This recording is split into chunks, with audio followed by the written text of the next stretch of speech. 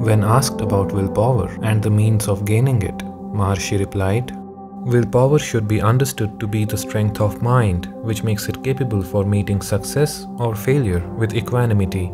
It is not synonymous with certain success. Why should one's attempts be always attended with success? Success develops arrogance and the man's spiritual progress is thus arrested.